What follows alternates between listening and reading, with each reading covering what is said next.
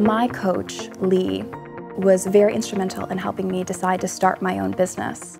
When I talked with her about things that I valued and told her about my idea, she told me right away I needed to start that business. And while it took me another year to do so, I would not have done it without her advice. Prior to coming to Edinburgh, I spent 12 years working for nonprofits in basically philanthropy and fundraising. So I knew that I wanted to move into the corporate world. But throughout the course of the year, with the professional development section in the class, I thought long and hard about what was most important to me. And what I realized is that I didn't have to move away from business for good. I decided to move into sustainability and ESG, and I am working in that now.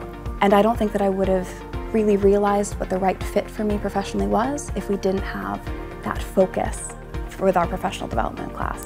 And without the professional development class, I might not have been able to figure out what I truly valued most.